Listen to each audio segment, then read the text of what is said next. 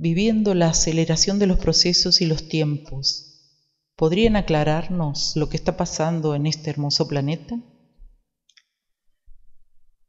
Como tú bien dices, lo que se está acelerando son los tiempos que existen para ustedes, que puedan evidenciar y empezar a actuar más allá de ellos, como sucede en otras frecuencias, en otras líneas de tiempo, que no se apeguen tanto a la materia y a las cosas de las 3D.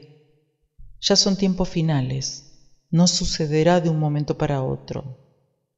Sí se los viene preparando, pero aún así es un proceso ya tienen que empezar a imaginar para luego vivirlo. ¿Qué es estar fuera del tiempo y del espacio? Empezar a darse cuenta que crean permanentemente y sus pensamientos se ejecutan a la velocidad de la luz. Así trabajamos nosotros, creando, poniendo energía y esto crea en el mismo instante. Se están adiestrando, están sintiendo que los días se acortan, es una percepción, para que aprendan a trabajar en síntesis. En el plano físico toda necesita una determinada frecuencia más densa, por lo tanto lleva más tiempo moverse.